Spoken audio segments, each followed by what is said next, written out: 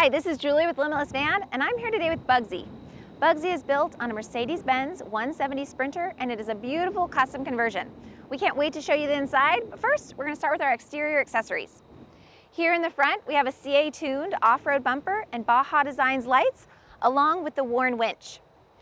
Up front, you'll see that we have a Limitless Van Safari Rack. This is the first time we've built our Safari Rack for Mercedes, and we absolutely love the way it turned out, and it has the Baja Designs lights up top as well.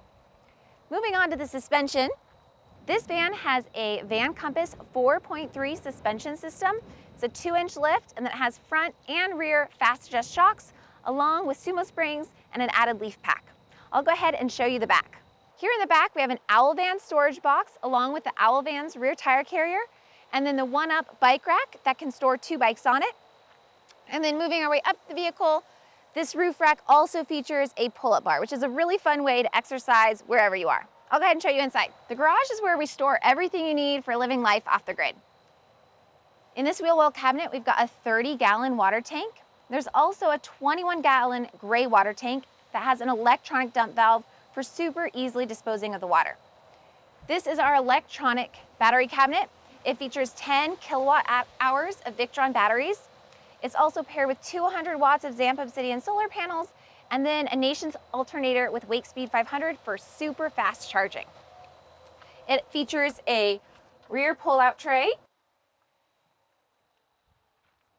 onboard air, and then this really nice Roloff magnetic bug screen. It has multiple configurations, so you can have this down or up. And it's a really nice way to hang out in your bed at night, get some cool air without letting the bugs in. I'm gonna go ahead and show you the inside. Working our way towards the inside of the vehicle, we have one more onboard air location, along with this handy dandy flip down workstation. This here pops out, and then you can pop in an isobutane cook stove for cooking outside, along with an outlet for plugging in whatever you need to charge. If you've seen some of our other vans before, you've probably noticed something different about this build. This is our first build that's done a two-person dinette. The Lagoon table has a pop-out tray that you flip over, and it's a really nice cup holder. We also have an alternative Lagoon mount right over here down at the base of the van, so you can store drinks, etc., while you're cooking and working outside the vehicle. In all of our builds, we call this section right behind the driver's seat flex space. And that's because you can use this space and make it suited to your needs. So we offer a two passenger seat bed that also swivels so you still are able to walk through the vehicle, a two person upholstered bench, or for the Mercedes Sprinter 170 only, this nice two person dinette.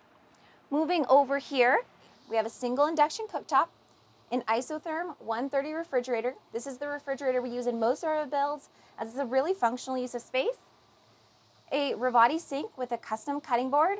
And then one of the coolest features in this build is this pull-out pantry. This is a modular pantry, so we have removable panels for storing things of various heights.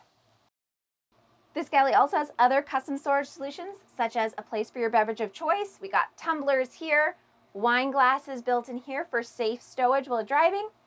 There's a very deep, kind of hidden storage compartment right here with shelving along with drawers and cabinets, and they're all soft close, which is really a nice feature to have.